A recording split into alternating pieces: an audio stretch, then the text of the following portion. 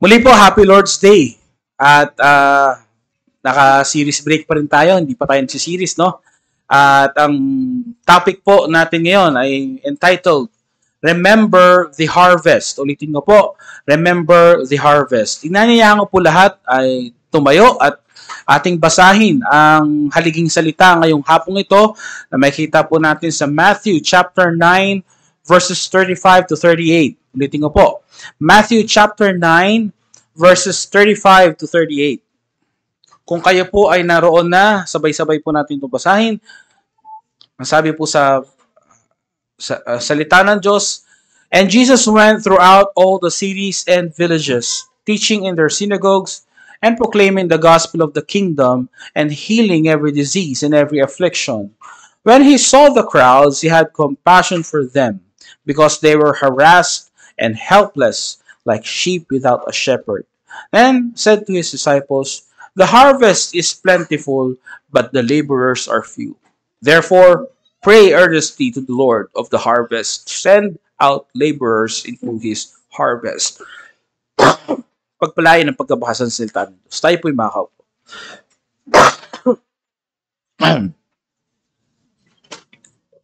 Ang aklat po ng Mateo ay uh, unang uh, aklat po ng Ebanghelyo sa New Testament at ito po ay ang apat ay isa sa first four gospel na naisulat po sa New Testament. Ang nagsulat po nito ay obviously ay si Juan.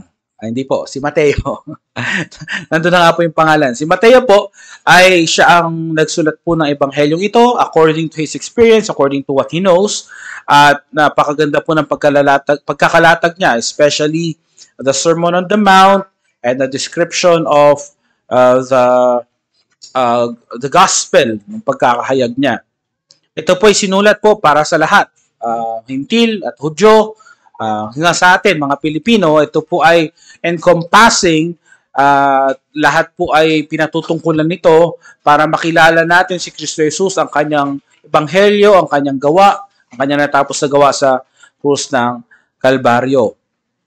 Ito po ay nasulat bago po ang pagbagsak ng Jerusalem, bago po nangyari yung mga hula na tinakda ni Heso Kristo. At uh, ito po ay uh, pinapakilala kung ano yung fulfillment din ng maraming Old Testament prophecies at yung mangyayari pa lamang sa hinaharap.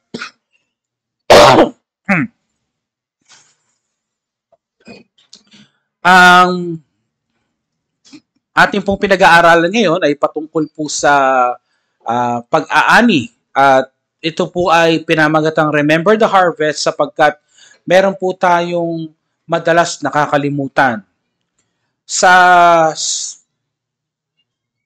sa LA so or sa Los Angeles. Or specifically in the uh, farmlands of California, isa po ito sa malalaking uh, mga farms sa United States. At malakas po sila mag-produce ng mga produkto ng pagkain. Uh, karaniwan mga uh, apples, oranges, at uh, grapes, and yung mga uh, pinoproduce sa California, at uh, even mga grains. Uh, nandun din yung mga farm ng uh, nagpo-produce ng nag-ex or nag-import ng mga pagkain sa buong mundo at karaniwan napakarami nitong uh, excess. Uh, pero gusto kong malaman ninyo, hindi lang problema ng mga farmers sa California or for that matter in the whole United States yung sobra. Uh, kung may napanood na kayong mga documentary or mga clipping sa YouTube na yung mga pagkain ay sobra-sobra sa United States at ito'y tinatapon na lamang. Uh, one of the uh, leaders in the Soviet Union back in the 80s ay bumisita. Kung di ako nagkakamali, I think this is Gorbachev uh, nagpunta siya sa US, first time niya tumutong sa US, at uh, gusto niyang malaman kung gaano kaunlad ang uh, United States. Kasi ang paligsahan noon sa Cold War, anong society ang mas successful o mas effective? Is it the capitalist or the communist society? at sa sa US sa pagbisita ng uh, leader ng Soviet Union back in the day, nagpunta po siya sa mga sikat na mga grocery. Isa doon sa mga pinuntahan niya, yung Costco, uh, yung mga Walmart, at nakita niya kung gaano karami yung mga gulay, mga tinapay, mga pagkain. As in, nakatambak.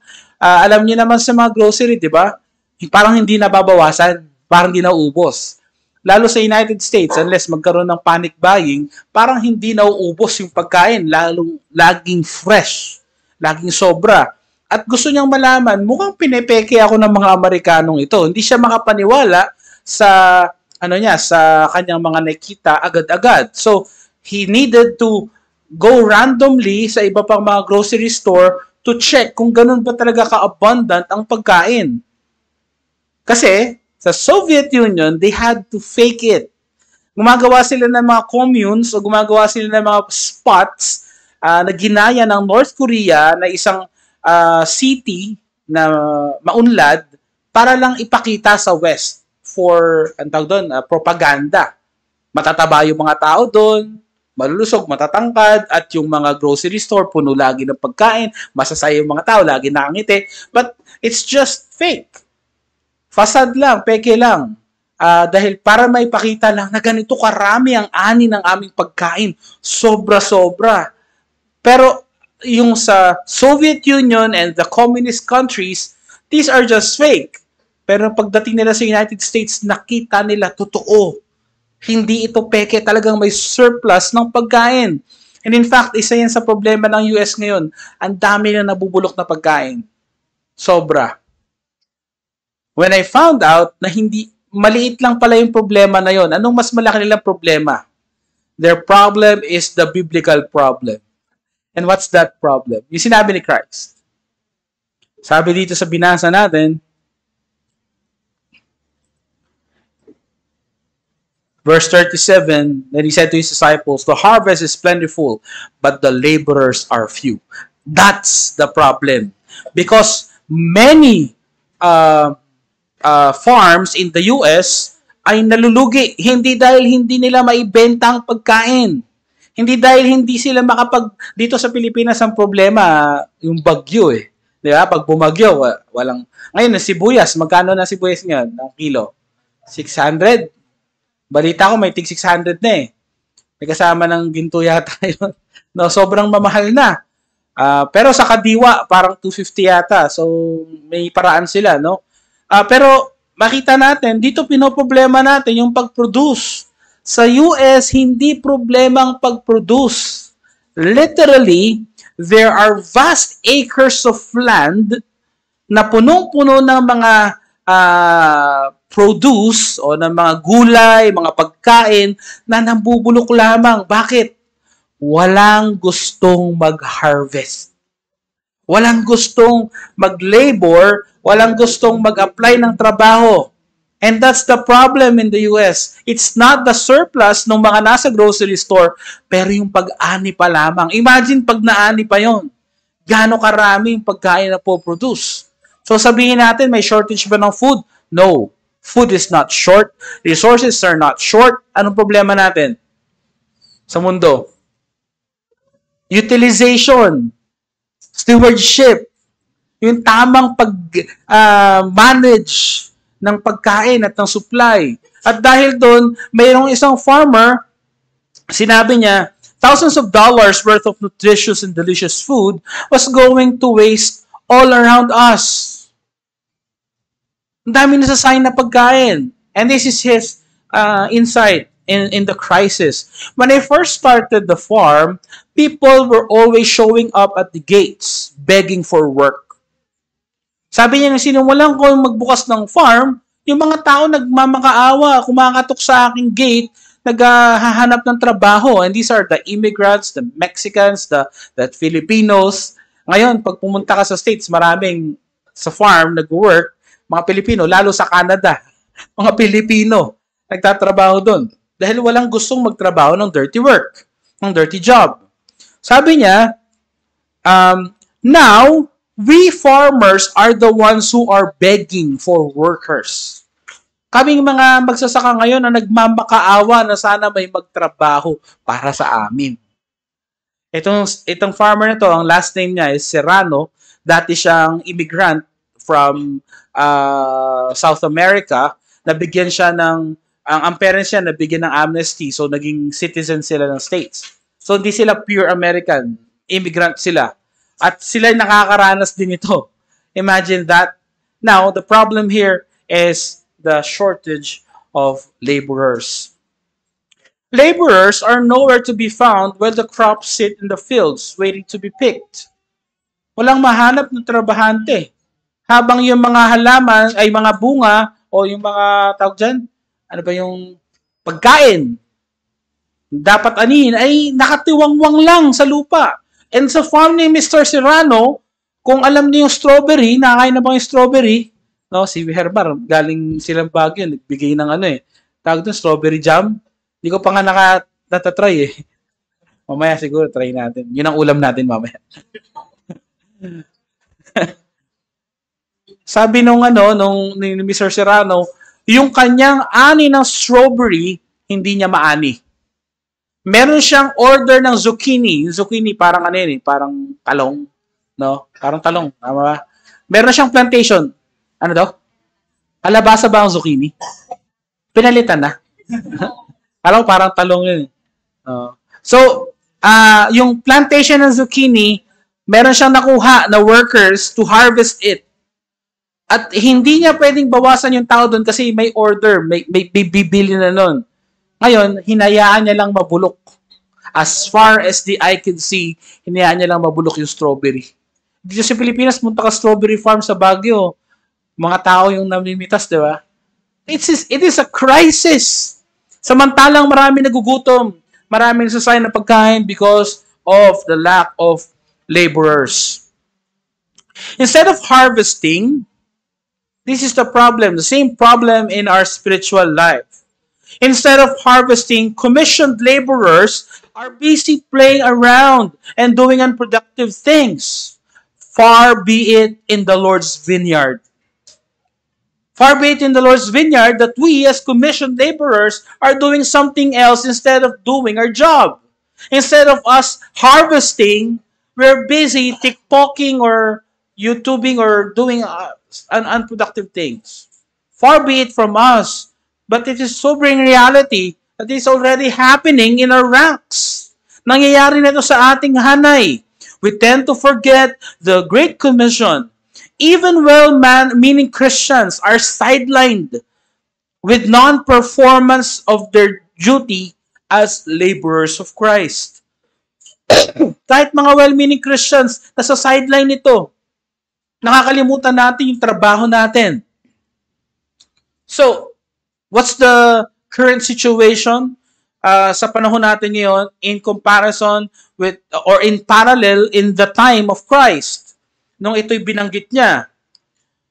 The laborers at the moment, at the moment of the right of the event nung ito'y binanggit ni Christ and at the moment in our time. Tignan natin yung parallelism. Number one, laborers are preoccupied with many temporal things.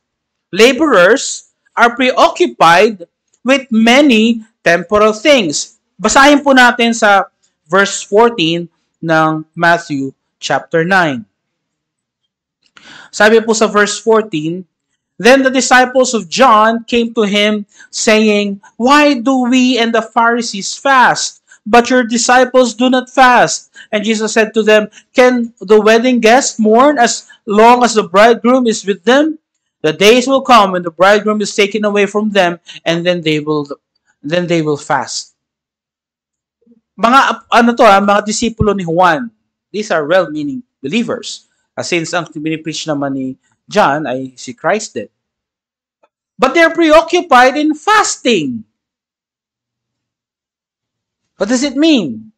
Pwedeng busy tayo sa mga spiritual things, pero ito yung hindi nila require ni Christ. At their time, and in their time, they don't need to fast, yung mga disciples ni Christ, kasi kasama nila si Kristo. Anong kailangan lang gawin at that very moment?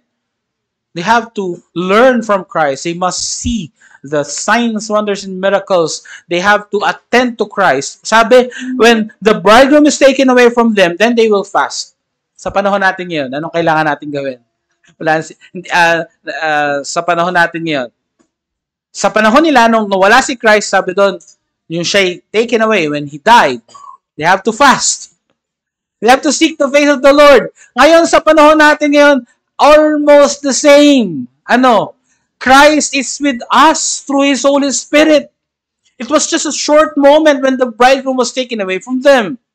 At binalik sa kanila, at binigyan sila ng banal na espiritu. Sa panahon natin yan, hindi ng banal na espiritu. Ano bang sinasabi dito? We should be busy with too much spirituality in the sense ng pagpapakitang tao na lang ng ating spiritualidad just for compliance. Not just reading many books without understanding. Nagko-kolekta na lang tayo. Not just attending services without being uh, soaked in the Word of God. We must not be sidelined with this seemingly good spiritual things. Wala nang masama doon. Pero baka may nakakalimutan sa atin, yung trabaho natin. Baka yun na nakakalimutan natin. Pangalawa, they're not just preoccupied with many temporal things. Busy, they're busy. Praying. Only. Ito yung problem. Kulang pa nga tayo sa prayer. But the, but, but, but the truth is, ang, ang isang laborer ng Panginoon, sabi ni Christ, uh, the workers are few, sabi dito, the harvest is plentiful but the laborers are few. Therefore, pray earnestly to the Lord of the harvest to send out laborers into His harvest. Many are just praying. Nananalangin lang. Masama ba manalangin? Hindi masama manalangin. Hindi masama mag-pray. But let us not forget that we've been commissioned not only to pray but to work in the vineyard. So hindi masama manalangin, pero kailangan may kaakibat na pagtugon sa trabaho. Kaya they're just busy praying only. Next, faithfully preaching the gospel. Nandun pa rin naman yung matapat na paghahayag ng ebanghelyo. And lastly, meron din namang naglo-lord over. Lording over. Sabi po ni Charles Spurgeon sa commentary niya sa chapter 9 na ito, pretenders were many. Maraming mapagpanggap na mga laborers, fake laborers, At the time of Christ, nandyan ang Pharisees, Sadducees, scribes, teachers of the law. These are fake laborers. So, pretenders were many, but real laborers in the harvest were few. Onti lang yung mga totoo, yung mga tapat. Man-made ministers are useless. Still are the fields encumbered with gentlemen who cannot use the sickle. Punong-puno pa rin yung field, yung harvest field ng mga uh, gentlemen na hindi naman marunong gumamit ng karit. Ano yung karit? Yung sickle. Yung pang-ani. They cannot wield it. Still, the real and gatherers are few and far between. Onti pa rin yung mga nag-harvest at magkakalayo pa sila. Where are the instructive soul-winning ministries? Tanong ni Charles Spurgeon, where are the instructive soul winning ministries. Nasaan? Yung mga tapat na nagbibigay ng ebanghelyo at naglalayon na ma- madala sa Panginoon ang mga kaluluwang ito. So this afternoon, I want to point out, praying for laborers without swinging the sickle yourself is hypocrisy. Ulitin ko po ha, praying the labor praying for laborers without swinging the sickle yourself is hypocrisy. Ang pananalangin para magkaroon ng mas maraming obrero o mga trabahador, mga mag-harvest, uh, at pan- panalangin nun, ngunit hindi ka naman nag-aani, hindi ka nagagapas. Ito'y kapaimbabawan. It is hypocrisy. While swinging the sickle without prayer is arrogance or rather, while swinging the sickle without praying is arrogance. Kapag ikaw naman ay ani ng ani at di ka nananalangin, ay kayabangan. Ulitin ko po, Kapag ikay nananalangin lamang ngunit hindi ka nagtatrabaho, ito'y ipokrito. Kapag ikaw naman ay nagtatrabaho lamang ngunit hindi ka nanalangin, ito'y kayabangan. Sapagkat sa bawat kumpas natin ng ating mga karit sa pag-ani, sa paggapas ng mga anin, sa madaling salita, sa bawat paghayag natin ng salita ng Diyos, ito dapat ay may kaakibat na panalangin. Bakit kapag ikaw ay naghayag na ebanghelyo, hindi mo naman matututukan yan habang buhay mo? Ipanalangin mo siya na ang Panginoon ay magdadala ng mga trabahador na siya ay aabutin. Siya ay hikayatin makasama sa iglesia. At kung ikaw naman ay nananalangin lamang, ikay panalangin ng panalangin, Lord, gamitin mo ang aming mga kapatid, gamitin mo ang mga taong ito. Ngunit ikaw ay hindi naghahayag, ito'y kaipokrituhan Kayabangan, ang pagtatrabaho na walang panalangin dahil sinasabi natin na kaya na natin ito. Kay pokretohan naman ang pananalangin ng hindi pagtatrabaho sapagkat ang unang uh, uh, trabahador ng Diyos ay yung nananalangin. Hindi natin to pwedeng paghiwalayin. Tignan po natin ang mga pangangailangan ng mga tao sa panahon na yon at sa panahon ngayon. Both time Sa bawat panahon, sa panahon ni Kristo, sa panahon ngayon, both need the gospel. They needed the gospel. Timeless ang gospel. Sa panahon ni Kristo, kailangan lang ng ebanghelyo. Sa panahon natin yon, kailangan din natin ng ebanghelyo. Pangalawa, sa panahon nila, kinakailangan nila ng kagalingan. They need the healing, the signs, the wonders, the fulfillment of the prophecy. Kinakailangan nila yon. Tignan po natin ang ginawa ni Kristo.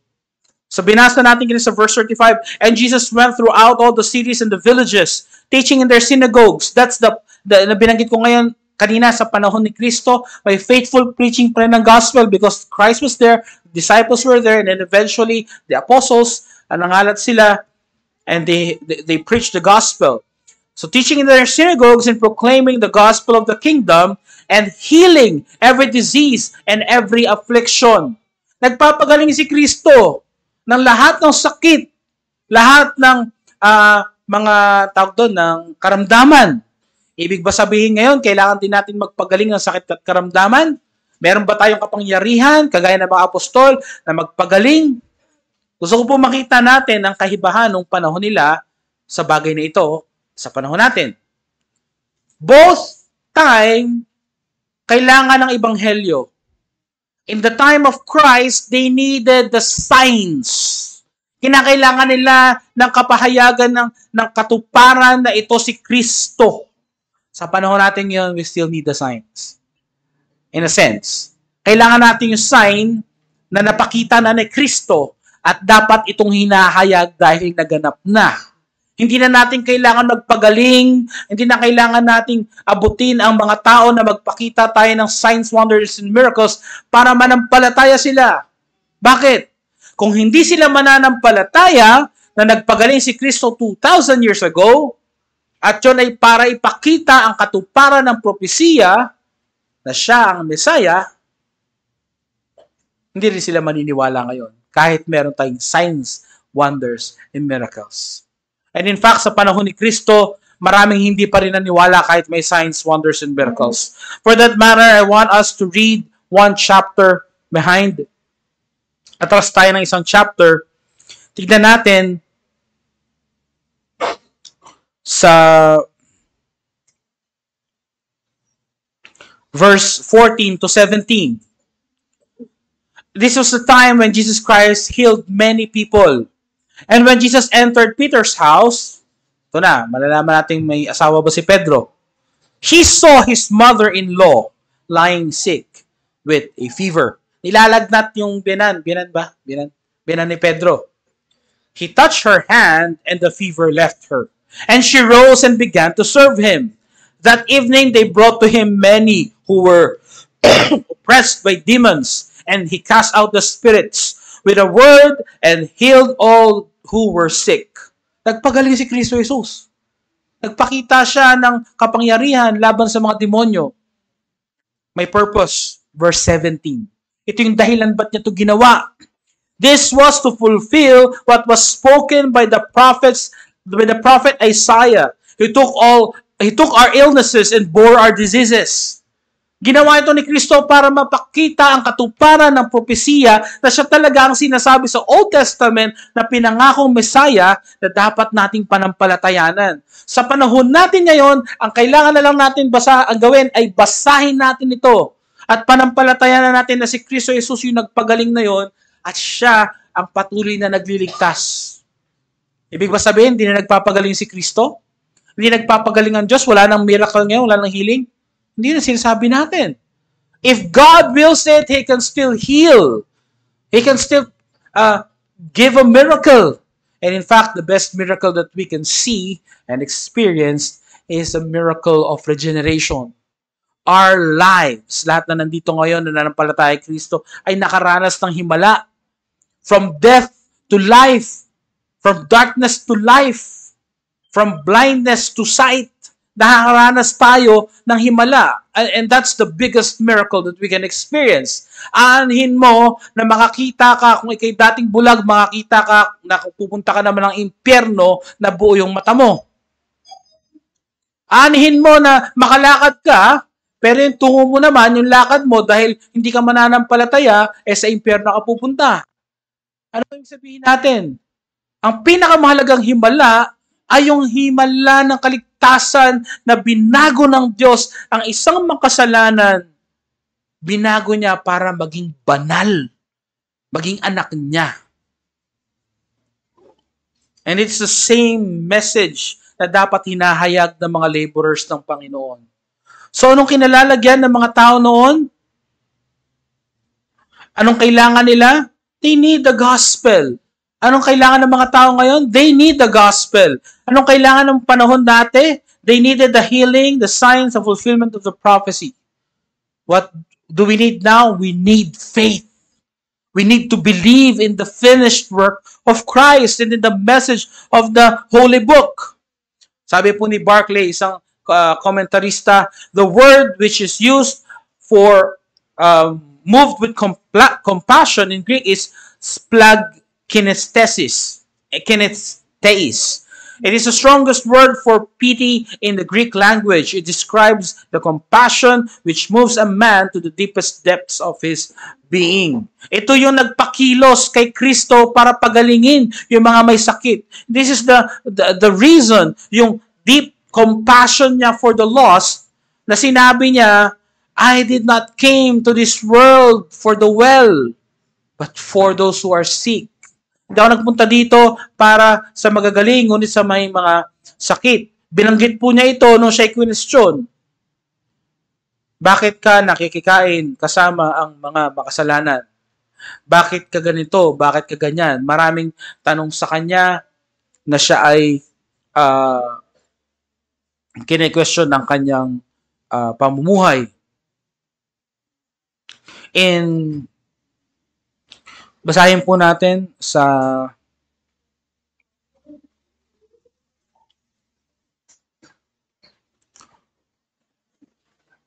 verse 10 ng Matthew 9.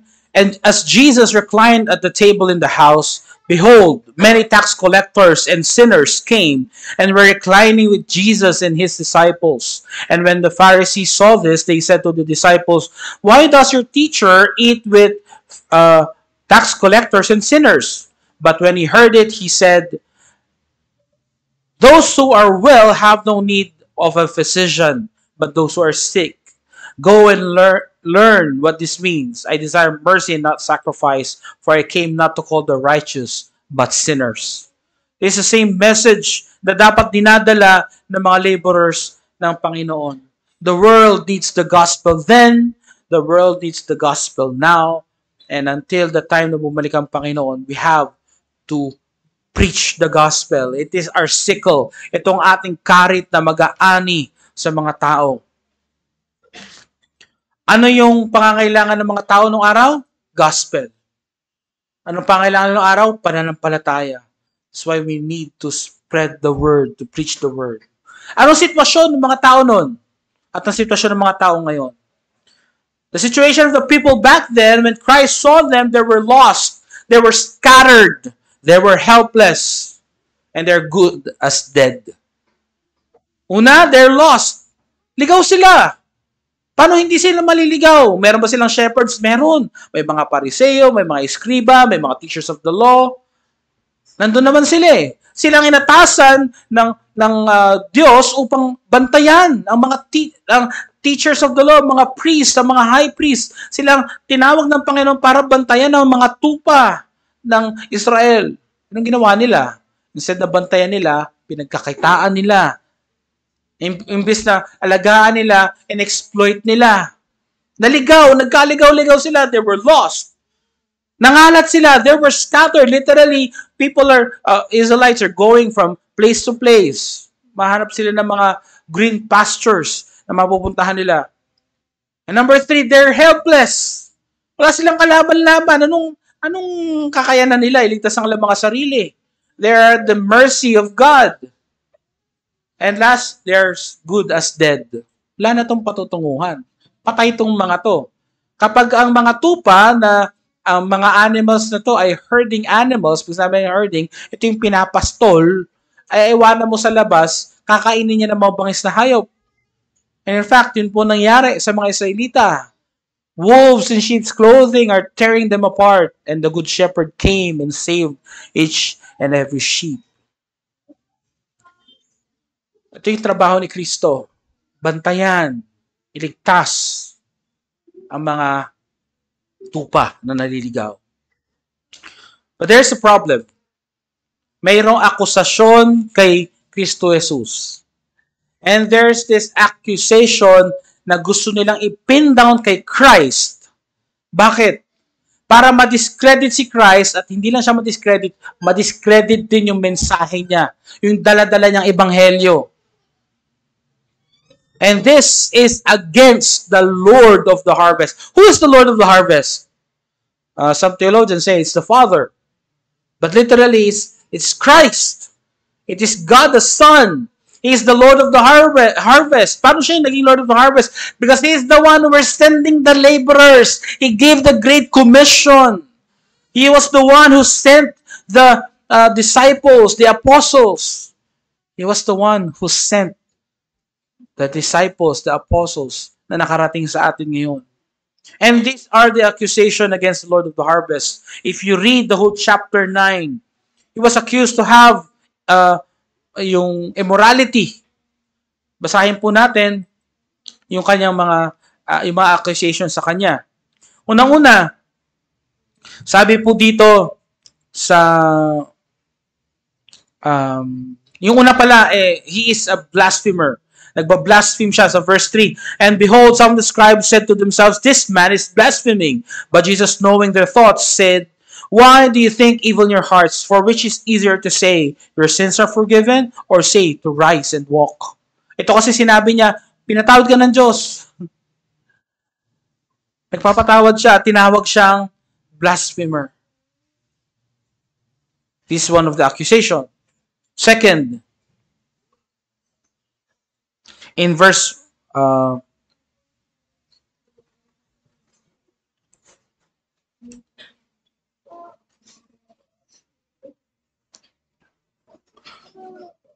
Saan yan? Yan. Sa verse 10, binasa natin kanina, uh, sabi dito, kumakain siya kasama yung mga tax collectors and sinners. At ang ang accusation sa kanya sa uh, verse 10, and Jesus And as Jesus reclined at the table in their house, behold, many tax collectors and sinners came and were reclining with Jesus and his disciples. And when the Pharisees saw this, they said to his disciples, Why does your teacher eat with tax collectors and sinners? Implying, naka, bakit sila, bakit siya kumakain sa mga kasama yung mga yan? Implying that he too was a sinner, a drunkard, a, a, a, a, um, a glutton. Kasi ganun yung mga kasama niya. So he has immoral, immo, an immoral lifestyle.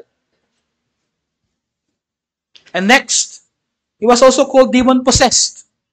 In the same chapter, hindi lang siya blasphemer, hindi lang siya immoral, siya ay demon-possessed din. Lahat na binaliktad, lahat na pinasama siya. In uh, verse um, Punta po tayo sa verse um, 32. As they were going away, behold, the demon oppressed man who was mute was brought to him. And when the demon had been cast out, the mute man spoke. And the crowds marveled, saying, Never was anything like this sin in Israel. But the Pharisees said, He cast out demons by the prince of demons. Tindi, no? Inakasahan siya na blasphemer, immoral, drunkard, lahat na. Tinawag pa siyang uh, possessed ng demons. Ganito yung ginagawa ng mga kaaway ng Ebanghelyo to discredit the message because they want something for themselves. They want to harvest for themselves. And sometimes, kung hindi rin nila mapapakinabangan yung harvest, sisirain na lang nila ito. And paano mo sirain yung mga ano, yung mga aanihin? Napakadali lang huwag mong anihin. The easiest way to destroy the, the, the crops, to destroy the, the plants or yung mga produce na ito, ay wag mong anihin. Mabubulok lang yan. Pigilan mo lang. At ganyan ang ploy ng kaaway. Ang ginagawa ng demonyo, ang ginagawa ng mundo, ang ginagawa ng lahat ng kaaway ng Banghelyo ay pinipigilang maabot ng mga laborers, ng mga commissioned laborers ng Panginoon ang harvest field. At kapag magawa nila yon, nagtagumpay na sila. So anong kailangan natin gawin? What must we do? We must pray and do the harvest at the same time. Each and every one of us here, if we say that we're saved, we are part of the Lord's vineyard. Kasama tayo sa ubasan ng Diyos. Lahat tayo dito may trabaho. Hindi tayo pwedeng mag uh, walang bahala. Hindi natin pwedeng sabihin, ah, ako na lang yung magsusupport. Financial lang yung support ko sa inyo. Hindi. Meron ka bang bibig? Meron. Kaya mo ba magsalita? Kaya. Eh di kayong maghayag ng salita ng Diyos. Kaya mo mag-preach ng gospel. Kaya mo mag-share ng gospel. Kaya mo umabot. Kaya, kaya mo maghayag ng ebanghelyo. Kasama ka sa laborers ng Panginoon. And mind you, from the time of Christ and up to this time, people, faith, uh, faithful men and women of God has been praying for the Lord of the harvest to bring out laborers. Sa panahon nila at sa panahon natin. And we must continue to pray But at the same time, we must work. We must swing our sickles. We must harvest. How? By preaching the good news. So as believers, rekindle your compassion for the lost. Kagaya nung naramdaman ni Kristo Jesus, that compassion, in Greek, plagkis nestehis, di ko alam kung tama yung sinasabi kong translation, but basically, sabihin lang nito, the strongest word of pity yung pinakamatinding pagkaawa. Naawa ka na ba sa pulube? Naawa ka na ba sa nangangailangan? Yung awa, pwedeng sabihin, uy, kawawa naman siya. Kawawa naman siya. Pero itong compassion, itong pity, itong awa na to, sabi po dito, it's descri- it describes the compassion which, move, which moves a man to deepest depths of his being. Napapakilos nito ang kalublooban ng tao. At yung pagkilos nito, hindi lang feelings, kundi napapakilos niya, napapahakbang niya ang tao. At anong ginawa ni Kristo Jesus? He gave the message of the gospel through the people. Binigay niya talaga sa panong paraan by stretching His arms on the cross. That's the gospel. Pagpapakita ng Ebanghelyo, ang kanyang kamatayan, pagkalibing, at pagkabuhay pagkatapos ng tatlong araw. Pagkatapos noon, yung mga disipulo hindi na, na hindi na sila napigil sa paghahayag ng mabuting balita. They kept on uh, swinging their sickles in the harvest field. Hanggang sa panahon natin ngayon, we must continue to swing our sickles. We must continue to harvest. So believers, rekindle your compassion for the lost. Isipin mo yung hindi mananampalataya na hindi pa nakakarinig ng salita ng Diyos. Kaawa-awa sila. Sila ng pinakakawawang tao sa, sa balat ng lupa kapag hindi nila narinig ang ebanghelyo. Pangalawa, don't be lazy. Huwag tayong tatamad-tamad. Baka naman pag na-covenant na tayo, sitting pretty na lang tayo. No! Itong pangalawang linggo ng taon na ito, paalaala sa atin. There's a work to be done. Hindi tayo nagpalista, hindi tayo nagpamiyembro para lang ma-enjoy natin mga biyaya, mga graces ng Panginoon. And then what? Tumalino tayo sa teolohiya? Ma- makilala natin ang mas marami pang kaibigan nating kristyano lamang Kristiyano, Kristiyano rin habang yung ating mga mahal sa buhay na hindi pa nakakilala sa Panginoon, mga katrabaho natin, kaibigan natin, nangangamatay na hindi man lang natin na-share ng gospel? Far be it. Don't be lazy. Number three, if you're not lazy in swinging your sickle, then don't also also don't be lazy in praying.